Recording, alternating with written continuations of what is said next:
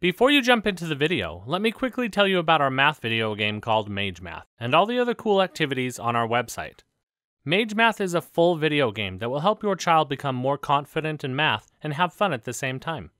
On the website, we have all our math videos, math worksheets, virtual math escape rooms, math mysteries, and more learning activities. You can find the game and all our amazing website content at magemath.com. There will be a link in the description as well. Hello, and welcome to the Mage Math Boxing Gym.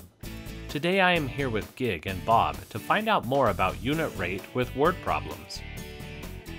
Right now I am punching this bag here, and I think I am pretty good at it.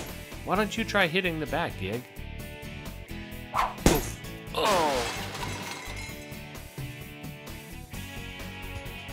Wow, Gig, that was some punch. Oops, are you okay? Why don't you review some unit rate word problems while we see if the number one is okay? Today, we will use ratio and rate reasoning to solve real world problems. Jen owns a home cleaning service. If she can clean five rooms in two and a half hours, then it will take her blank hours to clean eight rooms. We can write a proportion to solve this problem a proportion is a ratio set equal to another ratio. In this problem, we have 5 rooms over 2.5 hours is equal to 8 rooms over x hours. We will use the process of cross products to solve for x by multiplying through the diagonals to write an equation. 5x equals 2.5 times 8. Multiply on the right. 5x equals 20. Divide by 5 on both sides. x equals 4. This means Jen can clean 8 rooms in 4 hours. Great job! Meow Meow cat food cost $4.85 for a 5 pound bag. Crispy's cat food cost $2.79 for a 3 pound bag.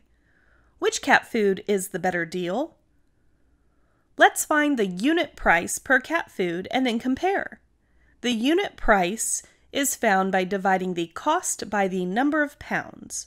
So for Meow Meow, we will take $4.85 and divide it by 5 pounds. This gives us 97 cents per pound. And Crispy's is $2.79 divided by 3 pounds equals 93 cents per pound.